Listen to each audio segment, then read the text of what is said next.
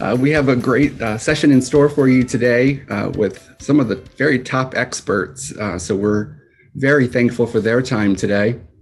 Um, for those of you that don't know me, my name is Jerry Williams, and I am the founder and president of Myositis Support and Understanding, um, also known as MSU. And um, thank you for joining us for myositis, immunosuppressants, and COVID vaccine response with this highly esteemed panel of physician researchers from Johns Hopkins. So I'm also a patient living with myositis, uh, and together with our medical advisor, Dr. Salman Bhai, we will be moderating this very timely and important presentation and question and answer session. Uh, patients directly living with myositis and taking immunosuppressive therapies have submitted a lot of uh, very well informed questions, and we look forward to getting to those after a uh, presentation. Um, so, joining us today from Johns Hopkins are doctors Julie Paik, Caoilfhionn Connolly, Lisa Christopher Stine, and Dorry Segev. And again, from MSU, hosting together with me is Dr. Salman Bhai. But before we get started, I want to quickly introduce you to myositis support and understanding. Um, we are a continually fast growing, all virtual, all volunteer, patient centered, patient led, community based 501c3 nonprofit organization. And I know that's a lot. So, what does all of that mean? It means that with your support, both of financial and with your time, skills, and experiences, that we can keep our organization lean and that we can put all of our contributions uh, so that they benefit myositis patients and caregivers directly. You know, we work to improve the lives of those living with myositis, and we do that through support, education, advocacy, awareness, uh, through our myositis patient financial assistance program, uh, which is a needs based program to help myositis patients with medical bills, uh, assistive and mobility devices, emergency household expenses, and travel to see a myositis specialist. Now, I'm keeping this very brief. Um, I could talk all day about the work that we're doing, um, but since we do have a, a very uh, filled webinar today, I, I, just want to keep it brief and say that, you know, please visit our website, understandingmyositis.org to learn more and register for your free membership so that you can stay updated and get involved. And our work now is also focusing on patient centered research. Dr. Salman Bhai, who is our medical advisor, is helping to lead the way. And Dr. Bhai is an assistant professor in the Department of Neurology and Neurotherapeutics at the University of Texas Southwestern Medical Center and faculty member at the Institute of Exercise and Environmental Medicine at Texas Health Presbyterian Hospital, Dallas. And as medical advisor with us, Dr. Bhai is focused on patient, excuse me, patient-centered research, and he's always focused on providing world-class clinical care. And we're so happy to have him joining our family. Dr. Bhai, welcome. Thanks, Jerry, for the kind introduction and the plug for patient-centered research. And thank you for the panelists and everyone joining us here today. We've got quite an excellent webinar uh, with world-class experts. And so we'll get into that in just a moment. But just a quick word about MSU. Our goal here is to put patients and their families first in the clinic and in research. Uh, we want patients to not only have access to quality and appropriate care for myositis, but also to steer research agendas.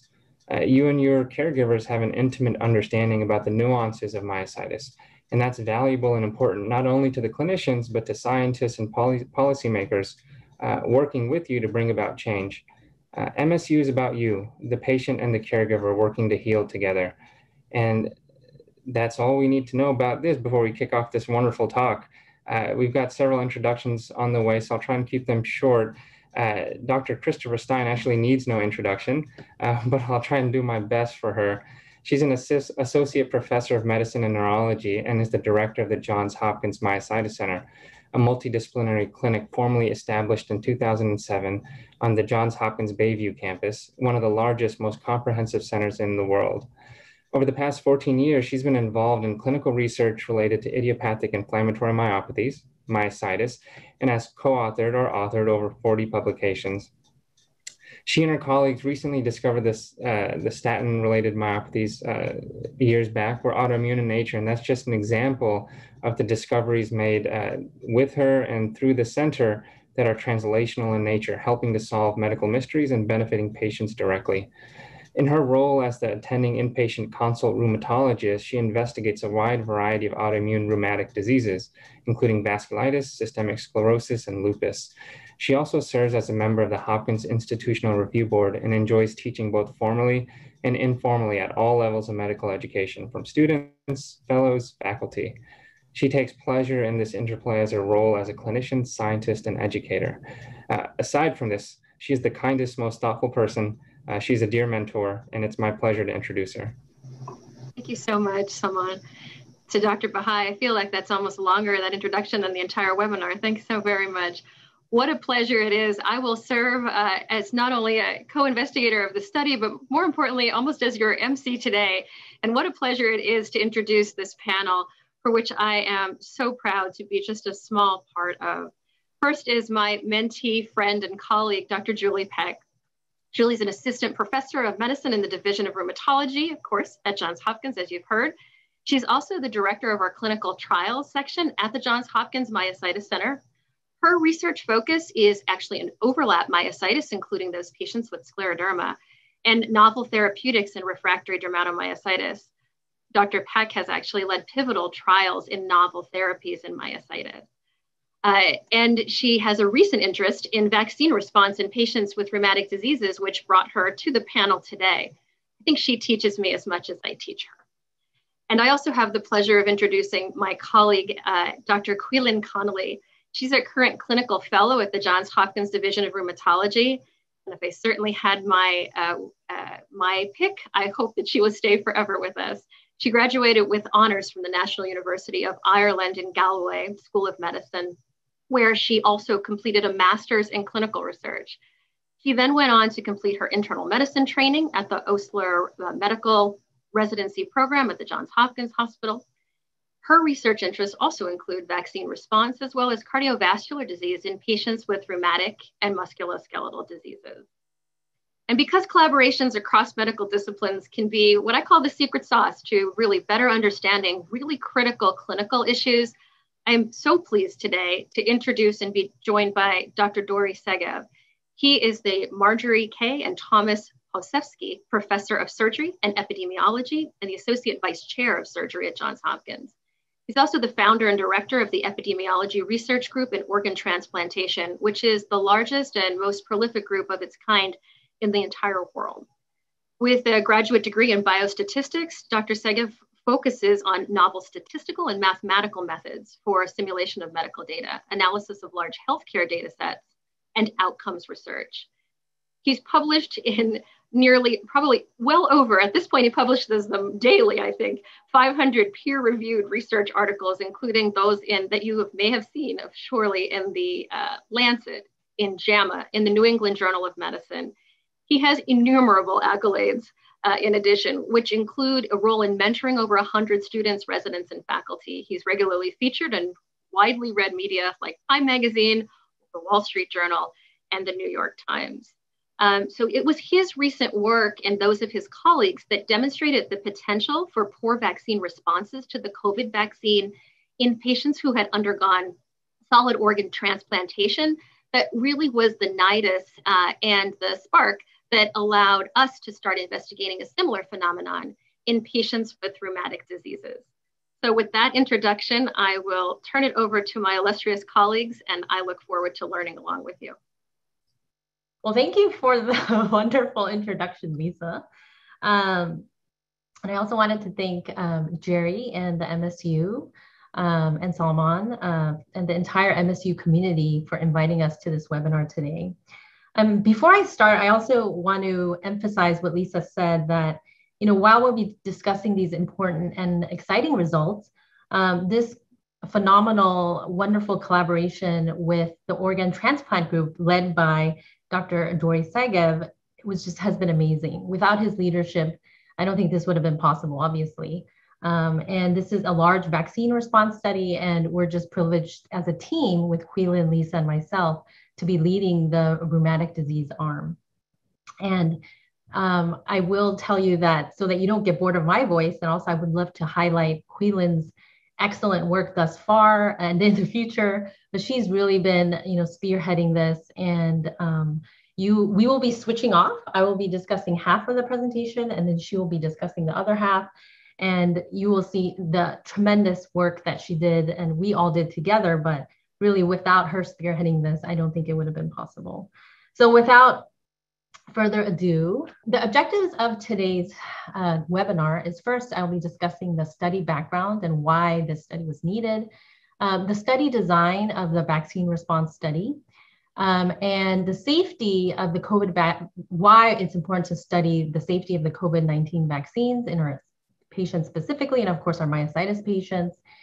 And then lastly, the, the results we found of the antibody response to the COVID-19 vaccines in our patients. So the background, I think this is very important to highlight. And why is it important that we study this? It's because if you look at all the studies thus done far, especially the ones that led to the emergency approval of the Pfizer and the Moderna vaccines, the trials, while there were over 40,000, 60,000 patients in it, um, there was less than 1% of our patients in that study. And that's not uncommon, especially when you're looking at it for the first time. But if you look at the inclusion and exclusion criteria, our patients especially would be automatically excluded because they exclude people who have been on immunosuppressants for more than two weeks for the past six months. So I bet many people in this webinar probably would have been immediately excluded. So I think to highlight the first point here that the safety and efficacy of these vaccine trials is very unknown in our patients because they were largely excluded. Second is we know that there is a known reduced response to vaccines in our patients. Um, especially, I would like to highlight methotrexate. Um, one of our colleagues, Dr. Jim Park, who worked with us at Hopkins, but now is in Seoul University in Seoul, South Korea, he actually looked at Korean patients and found that patients who are methotrexate, if they held it two weeks um, prior to the influenza shot, they actually had an improved response in the um, uh, influenza titer, the antibody response. So we know that medications like immunosuppressants such as methotrexate can reduce um, vaccine response, including the pneumococcal vaccine. And of course, we can't forget rituximab because it's one of the drugs we commonly use in myositis and, and depletes our B cells. Those also reduce the response to the vaccines. Um, so then it goes to, well, what about the mRNA vaccines? These are new vaccines. We don't know anything about it um, would that would immunosuppression also impact mRNA vaccine response? And the last point uh, in this slide that I would like to highlight, because I know there are a lot of patients um, in this webinar, is that we understand that our patients could have uh, vaccine hesitancy. You know, it's reported about 50% can have vaccine hesitancy. And it's understandable because I remember learning during my training, but also you know, throughout my patient interactions, we tell our patients to avoid uh, live vaccines if possible, uh, because there is a risk of flare in our patients. And if you have a patient who has lupus, myositis, and we're going to give them a live vaccine, we tell them, you know, there could be a chance of flare. So naturally, our patients have asked us, well, what about these mRNA vaccines? Are they live? Are they not live? As you guys probably all know, because it's so much in the media, it is not a live vaccine, but it makes us understand and highlight that we really need to address um, this vaccine hesitancy concern in our patients for the COVID vaccines as well. Okay, so with that background, the study design included um, patients with rheumatic and musculoskeletal diseases across the United States. I think the, the epitome and the beauty of this study is that we were able to recruit across the entire United States. And how did that happen? I mean, the vaccines are flying off the shelf, so to speak, right? Uh, but that was possible because of social media. And I think this all, and also through patient advocacy groups, just like the MS, MSU that Jerry um, ha, has developed, and also more recently through the JH centers, there are centers of excellence. But that was a little bit later because, as you all know, during the pandemic, all of our clinics were closed and we were doing telemedicine. So I think this brought to the forefront the power of social media and patient advocacy groups more than ever before. And this really makes me wonder about future studies um, to come. Um, outcome measures that we looked at, of course, number one is safety. Are these vaccines safe for our patients with rheumatic diseases? So just like the original Pfizer Moderna vaccine studies that were done on patients without autoimmune diseases, we looked at local and systemic adverse reactions, uh, of course, allergic reactions, any infections, COVID-19 diagnosis, uh, flare events as well, which Lisa was very pivotal in developing the flare uh, questionnaire for this uh, vaccine response study. Um, the second important thing and very exciting um, outcome measure we looked at was the humoral response or the antibody response. And this is a surrogate measure of response to the vaccine. Uh, but this is the best we have thus far. And this is the exact lab test that was done in those big 40,000 patient trials through Pfizer and Moderna. So this is the SARS-CoV-2 anti-spike protein antibody that we checked. So what does enrollment look like now? I mean, this is quite impressive.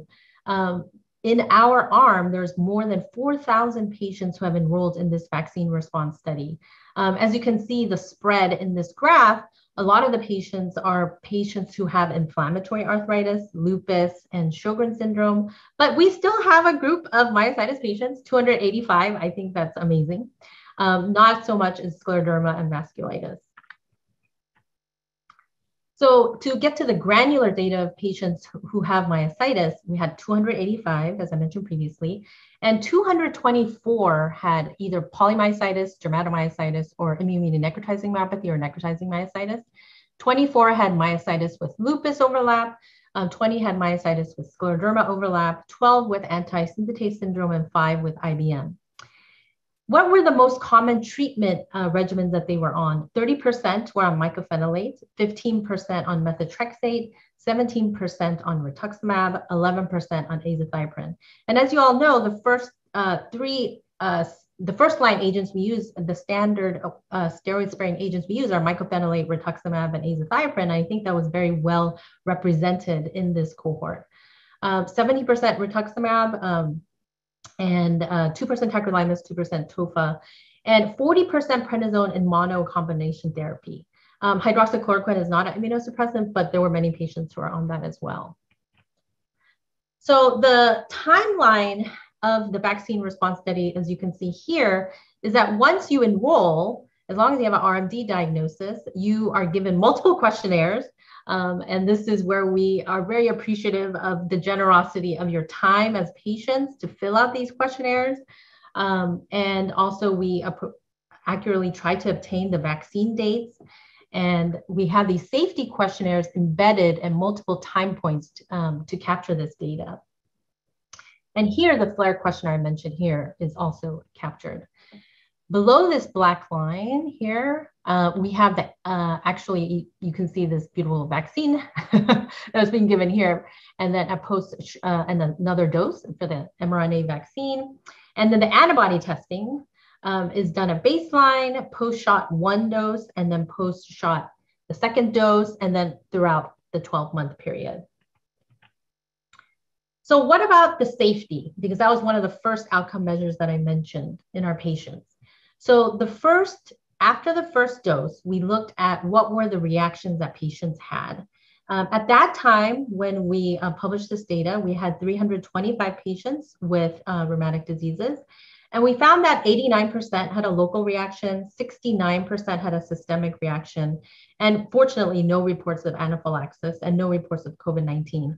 Um, I think this graph uh, is a good representation of what I'm explaining is that this is the overall reaction 89% of local and then 69% systemic. But if you look at the more specific data points, you can see that the most common were pain, swelling, and erythema or redness at the site of injection but they were all very mild, which is the take home point here. And then for systemic fatigue, headache, myalgia, these were also very mild, which is very reassuring.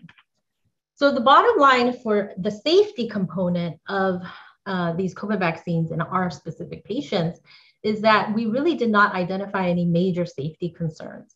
And the reactions were typically mild. And the most important take home point would be that the benefits of the vaccine, we believe, uh, outweigh the risks of COVID 19 infection.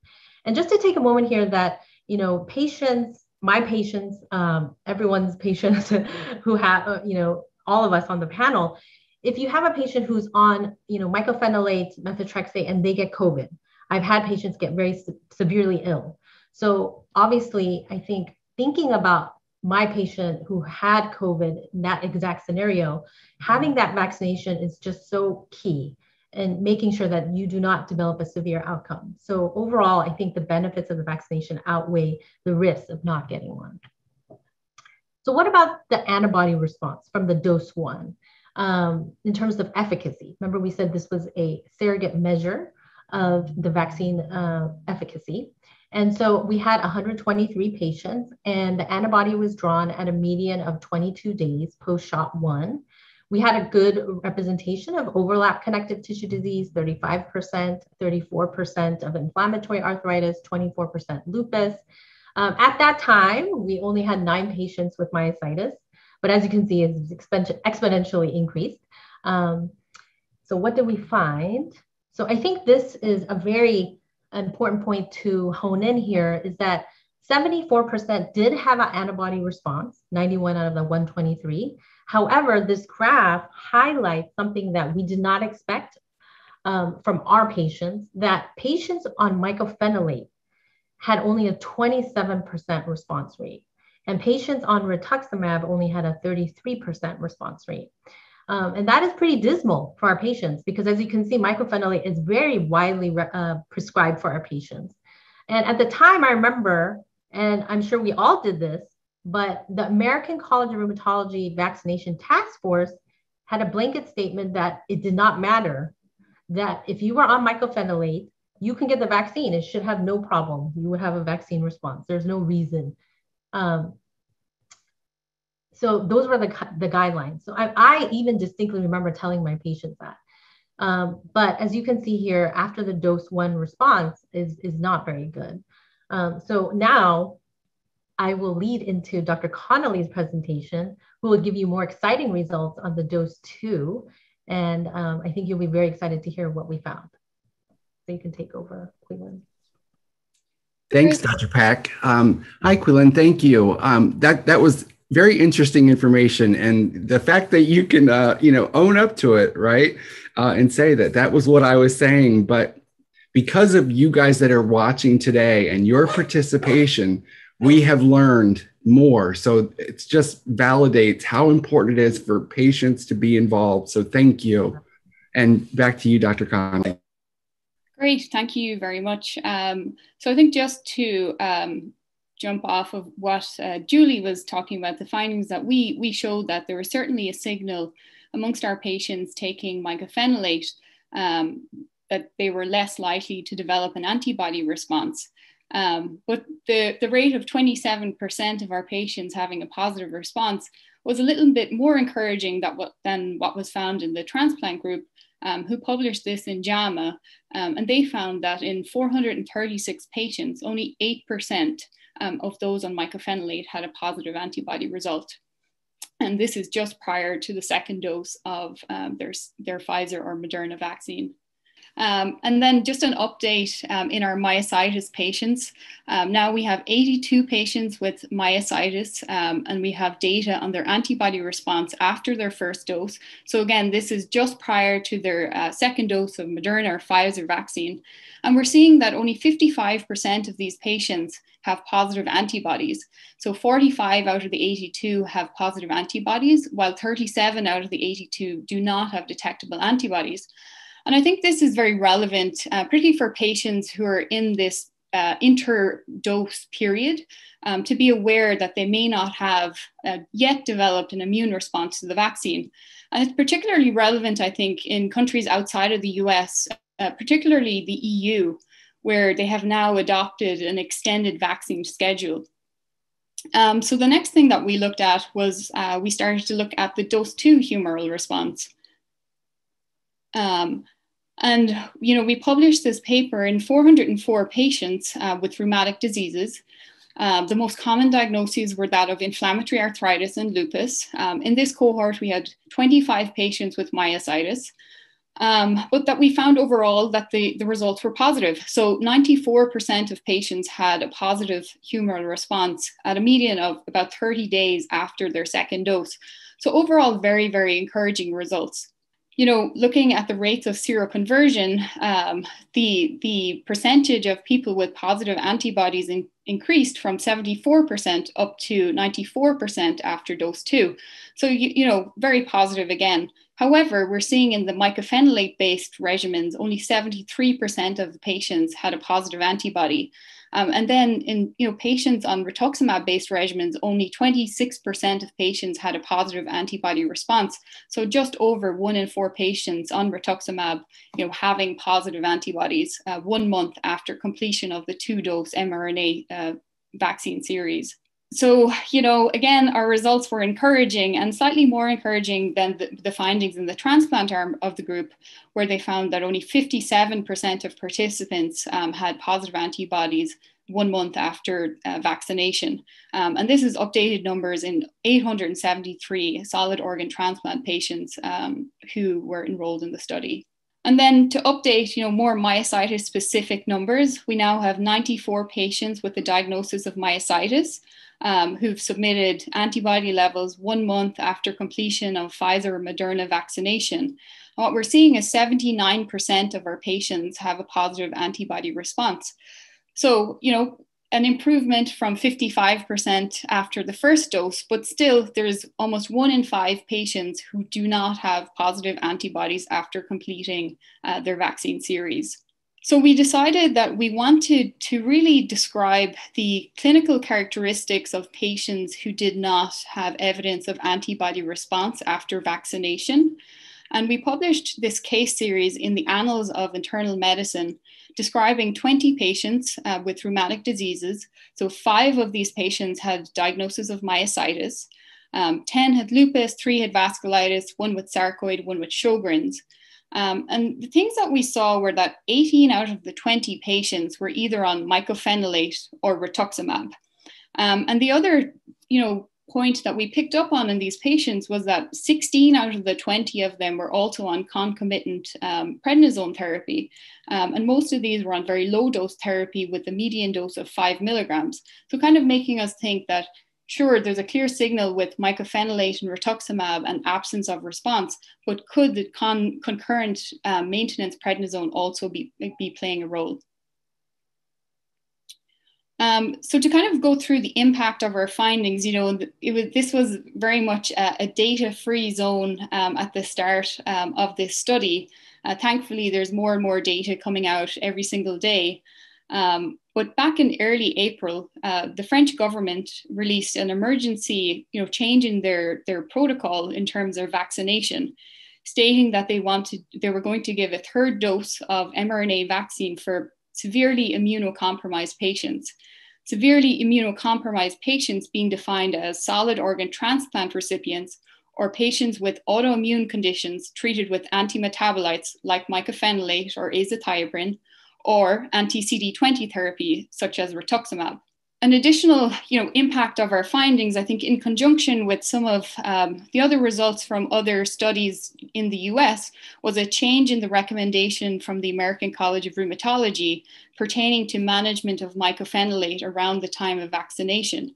So on April 28th, um, they released a statement uh, recommending that patients on mycophenolate should hold one week of mycophenolate after each dose of vaccination, assuming that the d- disease is stable, you know, so that the response to vaccination could be enhanced. So limitations to our study, you know, the antibody um, assay that we're using is validated for response to infection as opposed to vaccination you know, no cutoff titer has been defined uh, to associate with protection. Um, and you know, predictive models of immune protection are really urgently needed so that one, we can readily identify those who've not derived sufficient response from the vaccines, but also you know to guide future deployment of those who should really be getting uh, booster uh, responses. Um, and then we also didn't assess T cell response. And, you know, there's a clear role of T cell immunity in both fighting COVID 19 infection and also in the response to vaccines. And that's something that we're hoping to define. Um, and then, you know, to kind of put together our findings and conclusions, you know, we've looked at safety data uh, and we've found that the vaccines are safe in patients with rheumatic diseases. Um, you know, local and systemic reactions are to be expected, particularly after dose two, but the benefits of vaccination greatly outweigh the risks. Most patients with rheumatic diseases have very robust humoral response to the two dose vaccination series, but we have noticed or we've found that there's a poorer or more limited response in patients on mycophenolate or rituximab based regimens. And these patients really need to be um, aware of these findings and aware of the fact that they may be at ongoing risk of infection despite vaccination, and they should continue to practice preventative measures to mitigate that risk. So, future directions of our study you know, we're very interested in the impact of holding medications in the peri-vaccination period. You know, particularly with mycophenolate, which we've identified as a medication um, that can limit the immune response to um, the vaccine. And how how we would like to quantify you know what the impact of holding medication is going to be. You know we are in this lucky uh, position that a lot of our patients can afford to hold um, doses around the time of vaccine. Um, so it'll be very interesting to see if this has a substantial effect on the immune response you know in the longer term we want to look at um, you know durability of antibo- antibodies you know at months 3 6 and 12 um, and then also to observe in patients who do get additional doses what the immune response is. Um, and that's kind of the, the end of the, the PowerPoint presentation at this point, and I think we're going to move on to some of the, the questions that were submitted um, by some of the members. Thank you. Thank you, Dr. Connolly. Appreciate uh, Dr. Connolly and Dr. Paik. Appreciate your presentations. Um, and I think it's so important. That's why we uh, tried to get this out here as soon as possible, right? Because those implications for those patients are uh, so. So those patients that are on these, um, you know, these two drugs, um, you know, we're just talking about the importance of it. So patients on those drugs that are not a part of this study, obviously, uh, you need to assume um, that you're, you know, kind of taking the precautions as if you're not vaccinated. Uh, absolutely. I think, you know, uh, we would definitely encourage caution, um, you know, until we have a bit more information exactly what, um, what the immune system is doing. Perfect. Thank you. So I'll lead in to uh, go to the question part of uh, the presentation. And I think this really is probably the meat of uh, what you are all interested in. The questions that have been submitted have largely been collated. There were several themes that emerged, but we'll also try to be sensitive to those that come in in real time to the best of our ability that uh, makes sense to answer in a large forum. First one was I've been on prednisone for close to nine years. Is it safe and beneficial for me to receive the COVID 19 vaccine? Well, also, we heard I'm nervous about vaccination. Certainly, you heard the hesitancy in that. Uh, so, we decided to do uh, bullet points, but then also uh, you have the benefit of a live uh, four person crew here to be able to, and, and Dr. Bhai as well. So you have five physicians on the call who can field this. We said that we would give you the punchline, which I love here is get vaccinated, smiley face. Uh, it, partially, obviously, I think that we've spoken to that, that the risks are outweighed by the benefit. Tell everyone around you to get vaccinated. And with that, I will ask my colleagues to comment further uh, on those points. Yeah, I think um, just to chime in, when we looked at this um, safety, I think I just heard a dog bark. the safe, the safety um, results that we think is pretty safe. Um, and um, now the flare data, I think, you know, that is upcoming, so stay tuned. uh, but um, I understand uh, patients ner- being nervous about vaccination. I think we will all we were all very nervous.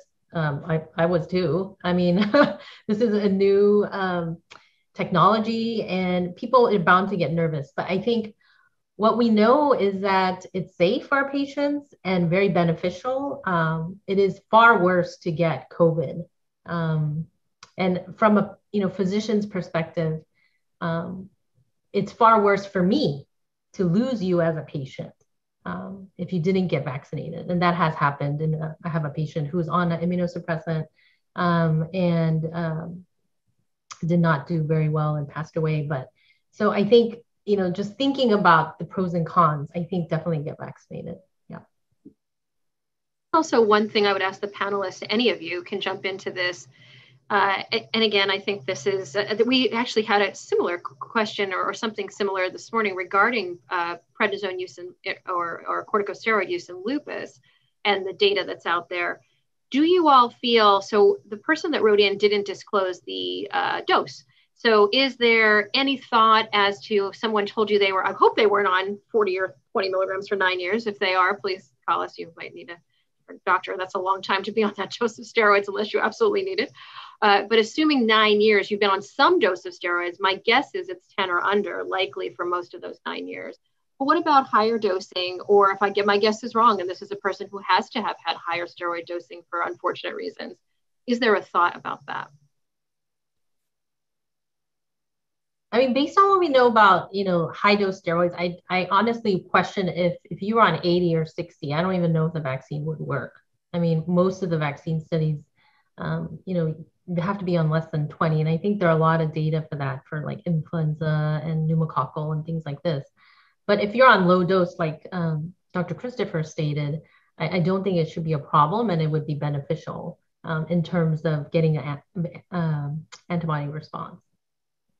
Are there any other comments from anyone else uh, on the screen that I'm seeing right now? Or, uh, and then I guess also just the other comment is about telling everyone around you to get vaccinated. And I think there are some questions coming in. Hopefully, we can get to them about the theme of I'm vaccinated, but I'm worried about those around me not vaccinated. I believe that that's sort of what our our hope is that you would have to make less um, decisions about masking, unmasking, seeing, not seeing people if we knew that the vast majority, of course, of, of people whom, with whom you interacted were indeed vaccinated.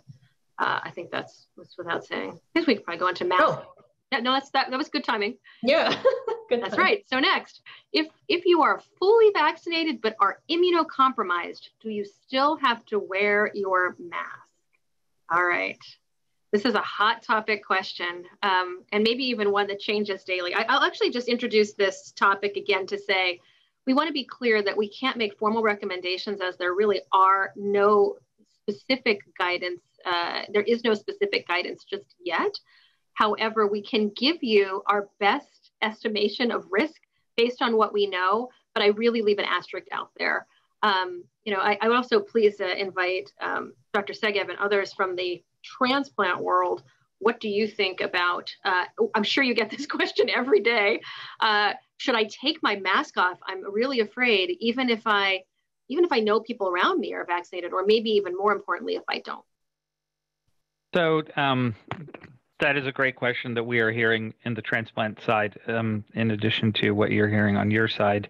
And what we've been telling people is that if you are taking immunosuppression medication, so if you are taking medications that purposefully, you know, block or hinder your immune system, then we assume that in some way or another they are hindering your protective immunity right now. And we have to go with that assumption until we know more. So, for the time being, if you are taking immunosuppression medication, what we say is get vaccinated but act unvaccinated, meaning that don't do make the maximum that you are wi- are willing to do be the things that the CDC tells you are safe to do for unvaccinated people. Don't do the things that CDC tells you to do that, that is safe for vaccinated people. Do the things that CDC tells you is safe for unvaccinated people until we know better how to measure somebody's protective immunity and how to give them the all clear that you're okay. So that means don't be in indoor situations, you know, without a mask on, et cetera, follow the same precautions that have kept, kept you safe for the last year and a half until we have more information. And Dr. Segev and others, I, you know, I think that that, I think I've even changed my own thinking. Uh, to Dr. Paik's point, you know, we're, we're physicians, we uh, learn in real time. When I see a good antibody titer, a good response, my first instinct is, yeah, it's, it's great news. And it is great news. You have some protection. I guess that uh, my question would be, and uh, I'm thinking out loud, but I think this question has come out, that do we need a cellular response that perhaps indeed we have uh, can even uh, see evidence of antibody response but because we haven't effectively and there's no commercialization to date measure t cell or cellular responses is that the hole in the in the protection that we don't know about and therefore an antibody response may give us a false sense of security while on immunosuppressives when in fact uh, they may in fact patients in that category may not have full protection that way. Is that true? Yeah, so think of the antibodies maybe as the tip of the immunologic iceberg.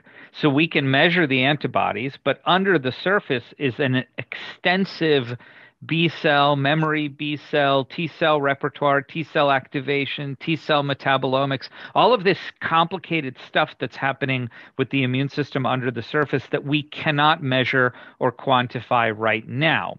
So yeah, it, it, you know having a lot of antibodies is probably better than having no antibodies, but do you have enough of a T cell repertoire, for example, to work with those antibodies to give you protective immunity? I will say that the fact that we are seeing breakthrough infections in fully vaccinated immunosuppressed people is telling me that there is a problem right? The the first email that I got from my very very good friend and colleague who's not only a transplant surgeon but also a transplant patient was an email that said Houston we have a problem and he sent me, you know, his uh, his uh, antibody results. So I think we we know that there's a problem because the breakthrough infection rates are higher than we would expect in people with with fully functioning immune systems.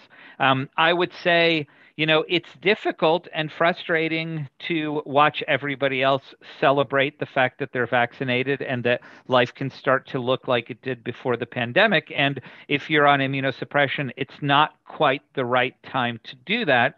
I will say that there's hope. We're learning a lot more. Every month we get a tremendous more data on B and T cell immunity and a better understanding of what's going on. Probably in three to six months, we will be able to say, this is your correlate of immune protection that you're looking for. If you meet this correlate, then you can feel more comfortable. But until then, again, this is I, this is not, unfortunately, sadly, not the time yet for people who take immunosuppression to celebrate the freedom of the vaccines. Very helpful. Are we, yep. So are you recommending repeat vaccination for those who did not initially mount an immune response to the vaccine?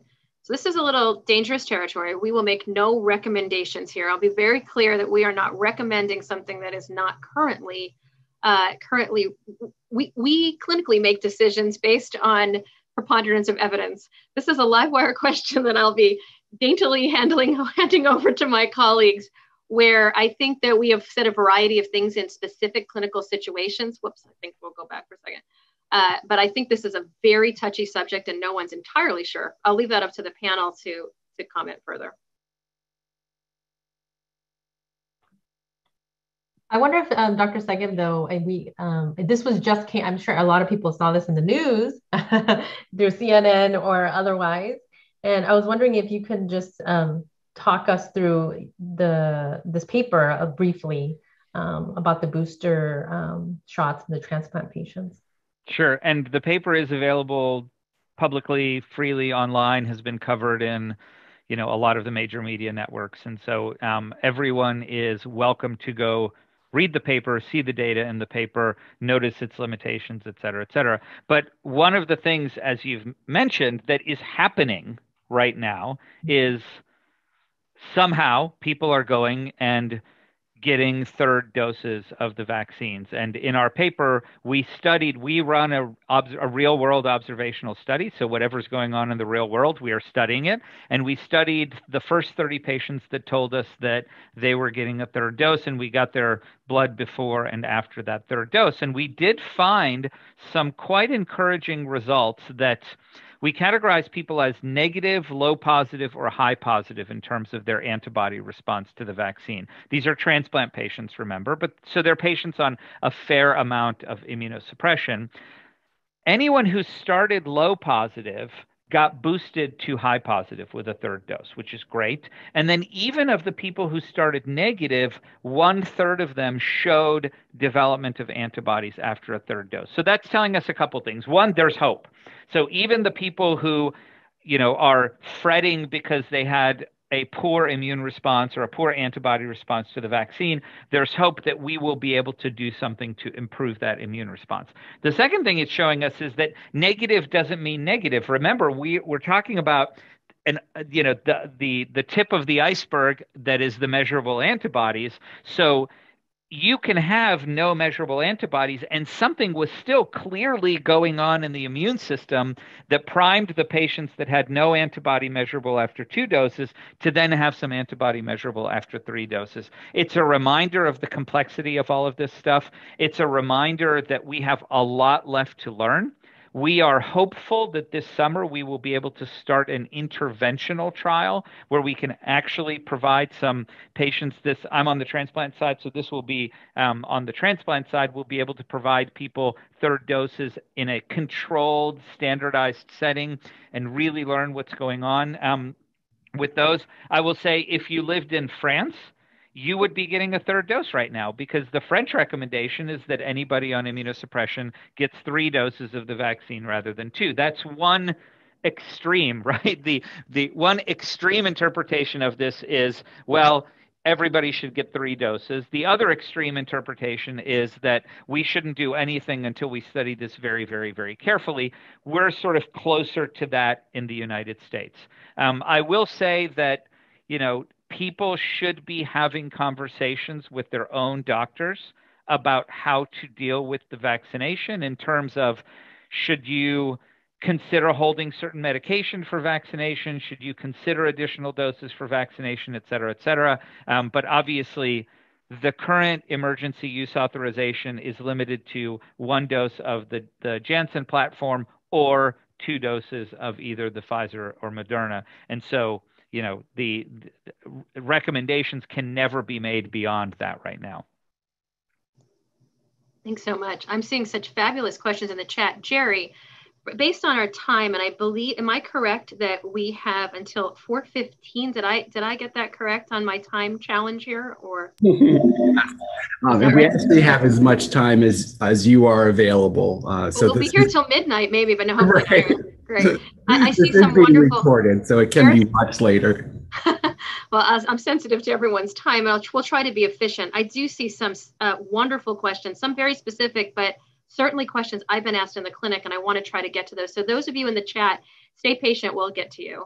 Should I get an antibody test? Okay, go. Should they get an antibody test? What does that say? What does that not say?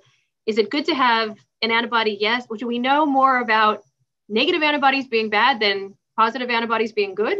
Uh, and, and I guess I think we've sort of answered some of this, but um, Dr. Connolly or others, what is your thought on should your patient even get an antibody test are we you know are we're doing this our, uh, as physicians what are we really telling our patients what does that test tell our patients well, again, to just emphasize that the antibody testing is validated for response to infection as opposed to vaccination, um, but it can give you know some insight into the humoral response or one half of the response of the immune system.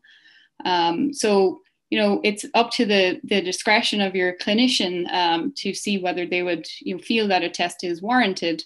Um, you know, for some of our patients at Hopkins, we are checking in patients in whom we would be concerned um, may not have developed um, an adequate response so that it could possibly inform their you know decision making in terms of behavior um, and risk mitigation um, however, you know, as as we're we've been saying, you know, during this Q and A session, is that if you're on immunosuppression of, of any sort, really, um, that you should be extremely cautious and you know get vaccinated, but act like you're not vaccinated. Um, so that would be my my overall recommendation. Would the would the team agree that a positive antibody test? So, and there's a question to this extent. A positive antibody test does at least give some degree of hope, recognizing we don't fully understand whether it's enough. But a negative antibody test surely gives us a little bit more information. I, I feel like if one, uh, what I learn more as a physician is that a negative antibody test certainly gives me very strong cause for pause, whereas a positive antibody test gives me some degree of hope with some trepidation. Do others sort of support that or? Yeah, I absolutely absolutely agree. I think when you see that negative um, test, it's you know it's disheartening. Um, but again, it's not the full story but it informs us that we can have that critical conversation with our patient to say you really can but you you're still very high risk you know you're not um, i wouldn't be going to a large event uh, with many people potentially. Um, and maybe patients may uh, other physicians may feel otherwise but i think that's the data we have now. And um, that's how we're kind of talking to our patients when we get those results especially a negative test and like Lisa said, if it's positive and it's very high titer, you feel a little bit assured, but it's again not the full story. Yeah.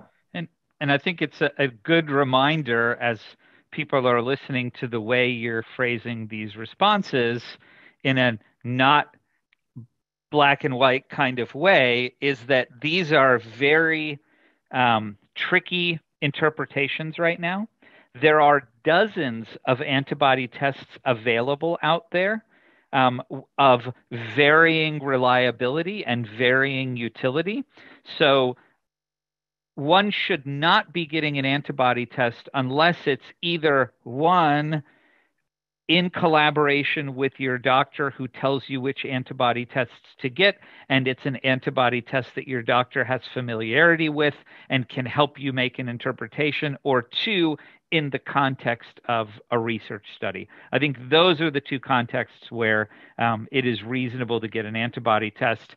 Um, otherwise, I think, um, and and I, I said this in some in one of the media interviews. Otherwise, I think it will cause more chaos than um, than be helpful if these are being done sort of without um, interaction with either a physician or a research team. Very wise advice. That's so important. Oh, sorry, Dr. Lisa. I no, just I just said it's wise advice. Please jump in, Jerry. Yes, and we're, and we're seeing that in the uh, in our support groups. You know, we're talking about that with patients, and that's one of the big questions. Is you know, should you know, my doctor didn't do an antibody test, and you know, I need them to do an antibody test. So, so it's really you know, it's really good to have this. You know, outside of a research study, or as, as long as your doctor understands and can help, like uh, Dr. Segev said, help you interpret that. But still, you're going to, you know, be taking uh, some of the most um, the same precautions as though you were unvaccinated anyway. So I think that's uh, really great. Thank you. And Dr. Lisa, back to you.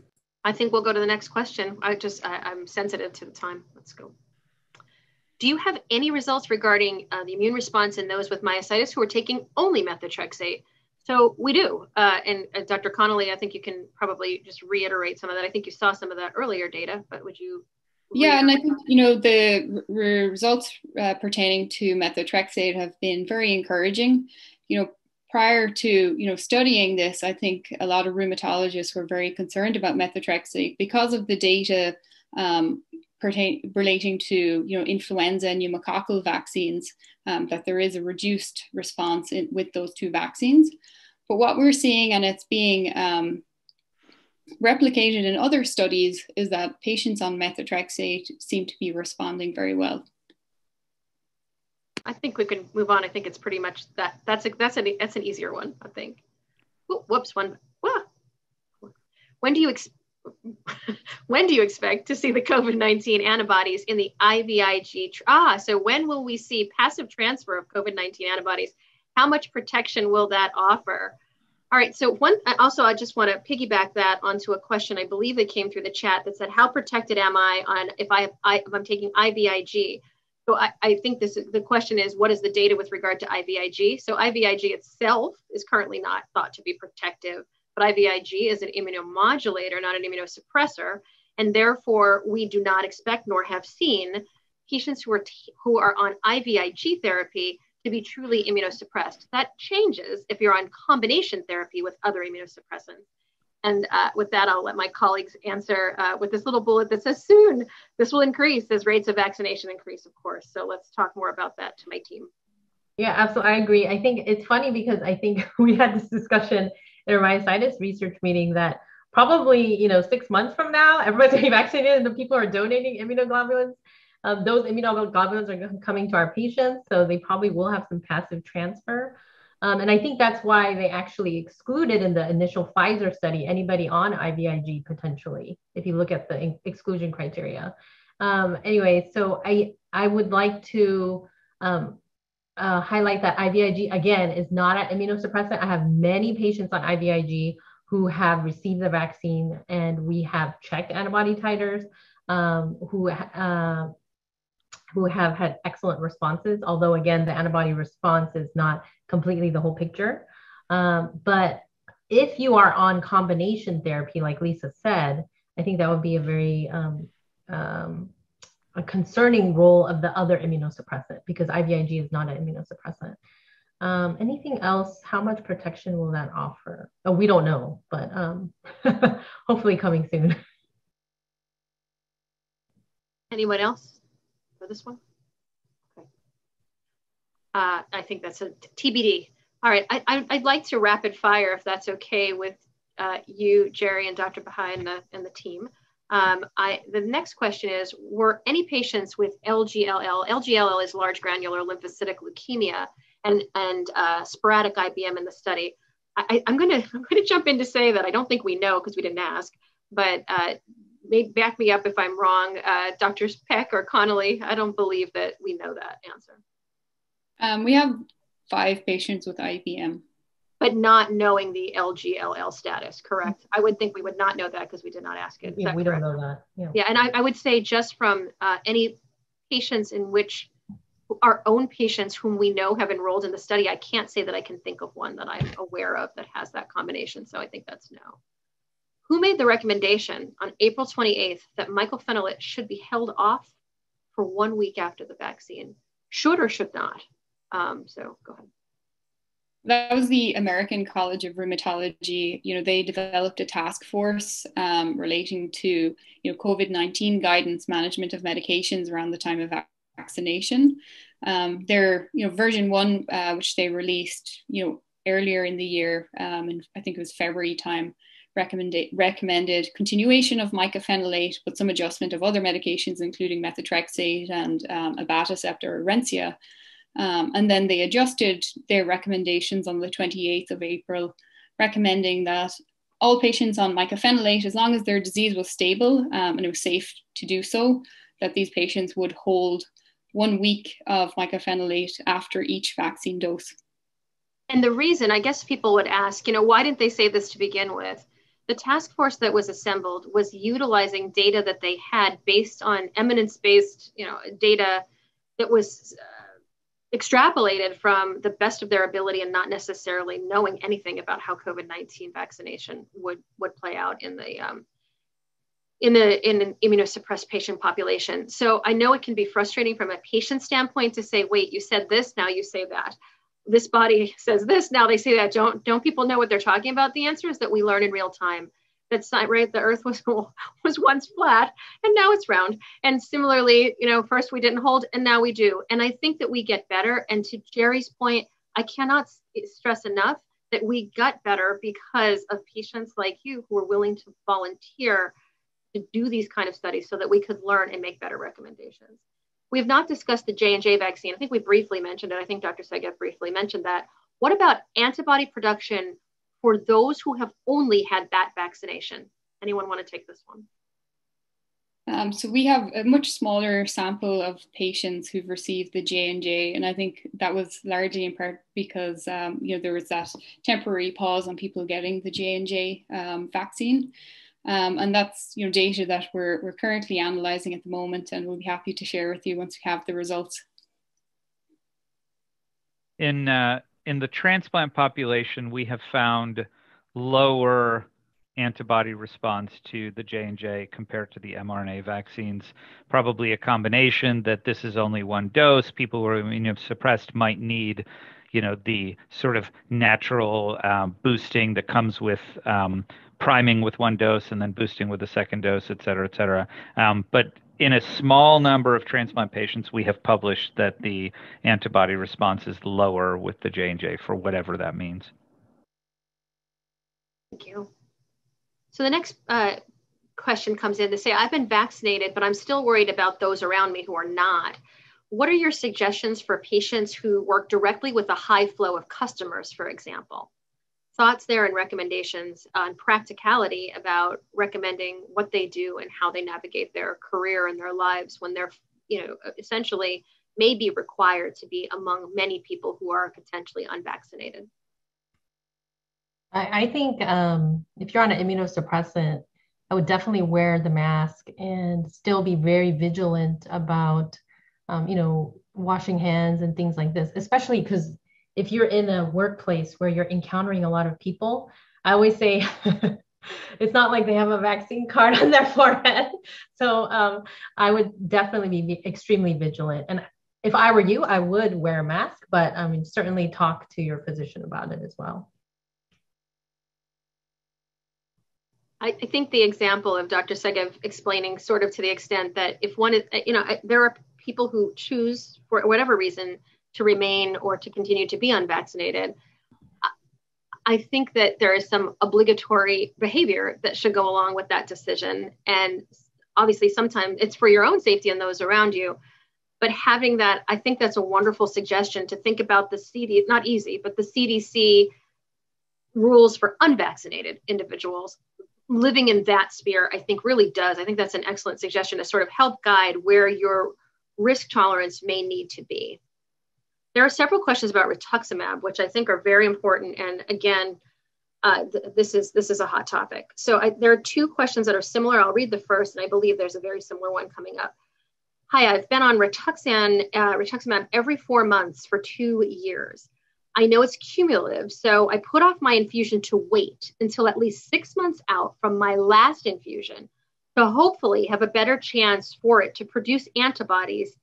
Uh, is that long enough, or should I wait longer? A very similar question is I've been told about the vaccination uh, timing with regard to rituximab. I'm going to try to find that one.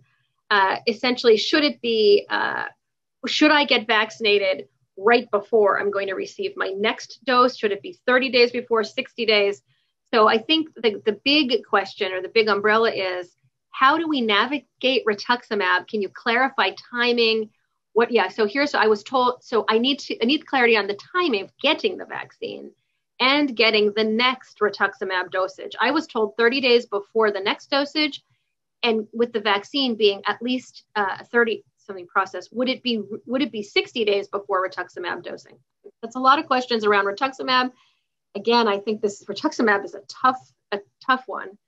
Maybe I'll I'll shoot that to Dr. Maybe Dr. Connolly, not to put you on the spot. I know you've thought a lot about rituximab and how we're if we can do anything to maximize response there, and also to Dr. Paik, we we we, we stay up late at night talking about this very question. So I'll I'll leave that in your hands. Um, so you know, I think I you know uh, I don't think we have an answer uh, really at this point in time. Um, what I will say is that it's unsurprising, you know, that patients are not having an antibody response because the way rituximab works is it wipes out your B cells and B cells make antibodies. What we really need to figure out is is there T cell activity in, you know, patients who are on rituximab who don't have positive antibodies there was a very small study, you know, I think it was only six or eight patients on rituximab who didn't have a positive antibody response, but did have evidence of cellular or T cell response. So that's encouraging. So I would definitely recommend that patients still get vaccinated. Um, the American College of Rheumatology guidance is that there is a, a four week gap. You know, you either get vaccinated, complete your vaccine series four weeks prior to your next infusion, or at least four weeks after um, your infusion, you can start the series. Um, so I think that's the minimum amount of time you would like to leave. Um, but I would still certainly get vaccinated because there is a, a, chance that you you are having a benefit on the cellular side of things that we have not yet captured. I think that just to piggyback on that, I would say that if I had the choice, or if you if you pushed me as your patient to say what to do, uh, again, it, it, may be a false sense of security, and I think rituximab, as Dr. Uh, Connolly has suggested, it has it has actually, as you know, a very durable uh, lowering of B cells in some in some patients years, even mm-hmm. with one dose. So I think this is variable, but if I had my druthers and you pushed me, I'd feel much more comfortable if you completed your vaccination series before you got your next rituximab and as far out as you could push your rituximab. We do have the benefit, unlike the transplant patients, as was stated, in, in solid organ transplantation, I, I, I believe this has to be true, that there's not as much wiggle room, if any, to be able to ever hold immune suppression. We do have the benefit of a more sliding scale, and rituximab is something that some people can actually hold for longer than an indicated. Sometimes we give it at every six months, but there's been no flare, and it's just something that where we do this because it seems to keep the d- disease at bay. But had we held that, the disease would not have flared. So I think again, individualizing that with your physician, if you are a person who can hold that dose as long as possible and get finish your vaccine uh, series at least one month prior to rituximab infusion, personally, I think that that's that's ideal. But again, I think it's situational, dependent upon each individual um, person. So I want to make a comment. Um, I think to play devil's advocate, yes, okay, we're talking about COVID, and rituximab is one of the worst offenders. But I do have patients where, um, you know, that was the only drug that controlled their disease. So I think you really need to have a very, uh, very very educated, hopefully long conversation with your physician. If you're flaring and you need that rituximab, I mean, would you really wait? Um, that's the big question I think that has come up with my patients. Uh, yes, I know that ultimately, if you are going to get rituximab, please try to get the vaccine beforehand. But again, I have patients who had one dose of rituximab one year ago, and she does not have a response. So it's very variable.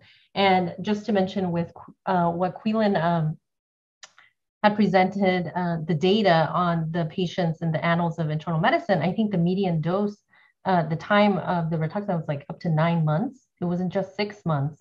Um, so I think, yes, I think it's a very difficult conversation because I have very well controlled patients on rituximab who, you know, do not want to wait because their risk of flare and they do not want to be hospitalized if they flare. So I think it's a very difficult conversation to have. But if you can and you're very stable, then it would definitely uh, wait um, to get the vaccine. Great clarification for sure. Absolutely. It's a risk benefit discussion always. What are your thoughts on returning to the workplace where others are not being required to mask and or social distance? Again, I think this theme has probably been discussed again, assuming the risks are higher to you some people, uh, I will say in my personal experience, some of my patients have asked for a letter uh, to ask them to, to allow them to continue remote work and stating that they may be in a higher risk category even if vaccinated. And I think to the discussion today, one could uh, make that argument. Physicians could write on their behalf if it were something that uh, you were eligible for telework in which uh, a doctor could stipulate that indeed there may be a higher risk to you merely by being on immunosuppression. If you must return to work, I think again, I, the, the theme, and the, those others can chime in, is indeed to just continue to be vigilant. Yes, I think just being vigilant is very important. Yep. Uh, now that others are unmasking, is my mask enough to protect me in a close contact situation? So I think it depends on who you're in contact with. And once again, uh, to just harp on that same theme, even vaccinated, while we have hope, and yes, it's definitely encouraging if we know something about your antibody response or if you're on minimum immunosuppression and have responded, uh, that makes us feel better. But we don't want to get too comfortable until we know a little bit more. I'm flying across the country for my son's wedding this weekend. I'm scared to death. I have dermatomyositis and I'm fully vaccinated. I know my antibody titer, it's positive, 112. I will mask as much as possible, but I still feel this is very risky. Is it? I feel, Rebecca, like you've just asked us a board question. Okay, so for, for the team, what would you tell this patient? Is it risky? What do we tell her? So I think any travel on an airplane could be risky. Um, it's funny that you asked that because I myself will be traveling and I had this conversation in my head with Lisa multiple times, uh, in my head and with Lisa.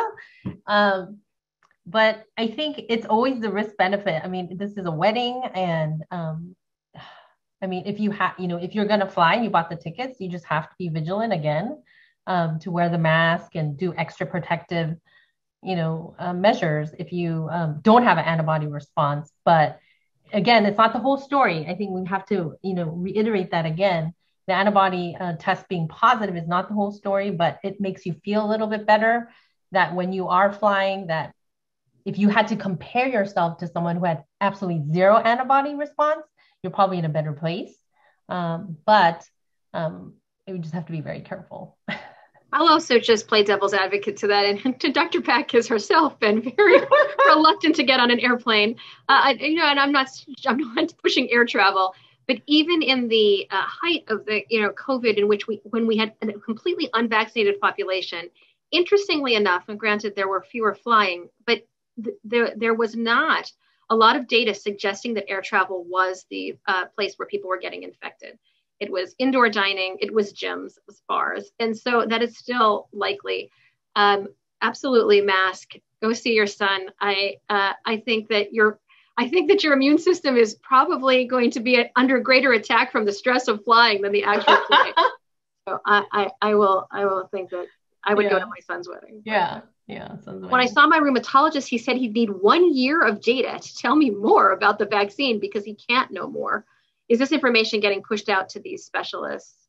Um, I, I'm not exactly sure I understand the sentiment of that, but maybe the sense is that just like us, we're not exactly sure what to recommend because we need data. I don't know that it's going to be a year, but I do think it's going to take some time just to, uh, you know, speak to the rest of the panelists uh, that we need to understand more about cellular immunity through the T cells. Remember, your white blood cells are B and T cells. You hear a lot about these letters, but those are the differences there. So I think that, yes, we push it out as soon as we can. Um, I thought the mask was mostly to prevent me from spreading infection to someone else. How effective is the mask in protecting patients from the from the unvaccinated? I, I think we've and you're you are correct to some extent. I think the reason that masking was not originally recommended was exactly this. We didn't recognize the um, airborne nature of the disease and such. And there is definitely protection in both directions. And as more people are vaccinated, or and, and those around remain unvaccinated or insufficiently vaccinated, that mask becomes a greater level of protection, um, is what I would say. I don't know if others have other thoughts to that. How effective? Uh, what future role will the new variants that seem to be entering the picture have in all of this? Do we need a third booster, pre-vaccination rules, et cetera? Thoughts on variants to the team?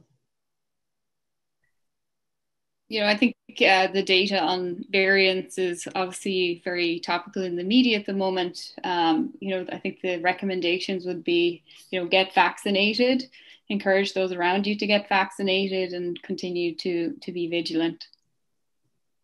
Uh, thank you for. Is that true, uh, uh Dr. Paik? Anything else to add there? No, I don't think so. I think we just um, we don't know a whole lot yet. Um, there have been rumors um, that everyone will need a booster, but hopefully not. so I don't think we know. I don't think we know. So for now, I think you know you really want to get vaccinated. I completely agree with Dr. Connolly. All right. I think in the interest of time, we really are at the end of the time limit. I'll try to just, uh, uh, there are a few more. And those that we couldn't get to, uh, Dr. or Jerry, Dr. Jerry, Jerry is so good at uh, collating questions for us that we can always answer and he'll put up on the website. Those of you have thanked us for the webinar and asked that the presentation be uh, shared. I believe that Jerry will certainly give you information on how that can be done. And I think with that, we should probably truncate this, but we're happy. There are about eight questions or so. Unfortunately, in the interest of time, we did not get to, but we are happy to try to provide summative answers to these questions if that's okay with you, Jerry, and provide it on the website like we've done in the past. Yes, absolutely. I certainly appreciate that. And I know that everybody else will uh, as well. This, uh, again, has been recorded. Um, I do kind of go in and make uh, some edits to kind of make it more, you know, flow. Uh, but it will be available in about uh, one to two days or so. Um, and we'll share that obviously on social media and it'll be on our website and emails and all the wonderful places. Thank you so much. I hope that it was uh, helpful to you. The dog yes. seems like he agreed. I know the dog. My dogs. I'm sorry. I no, I, I, I, I, I get a dog, so I have the cicadas and the tree cutter. You have the dogs. It's all in the world of Zoom, Jerry. We're we're very familiar with navigating yeah. virtual world these days. So right. Thank you so right. much for having us. Thank you very much. We're so grateful and hope that your patients and our patients will benefit from uh, this discussion. I think more to, to be determined, but I'm hoping it was helpful to answer some maybe unanswered questions and to provide a little bit more of an umbrella of information for what we know today. Yes, and that's what that's what's so important about today is you know that we just want to you know stay informed as we move through this together with you. And we appreciate uh, your time today and all the time that you put in uh, to preparing the presentation and answering all those wonderful pre-submitted questions. So dr Paik dr connolly dr lisa christopher Stine um, everybody else kind of had to run so it's just it's just us. But uh, i wanted to, to say thank you to you um, each of you and uh, we do appreciate it. And is there uh, anybody that's looking to maybe participate in this study? Is it still ongoing and how can they do so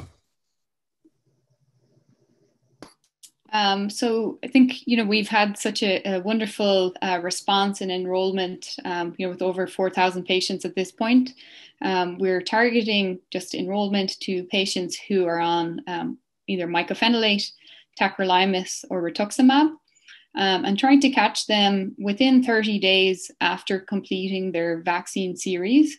So, you know, within within the first month um, after getting their second dose of Pfizer, or Moderna, or within the first month after getting their J and J shot.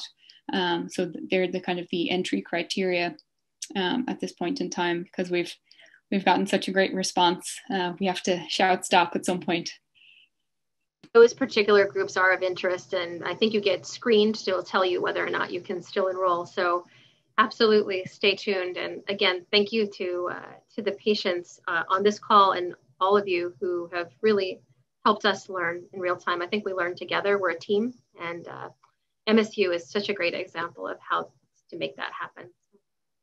Thanks to jen and to jerry and lynn uh, and to the entire team today. Thank you. I appreciate that and we look forward to uh, upcoming uh, new data. So keep us informed, and and we really again appreciate your time.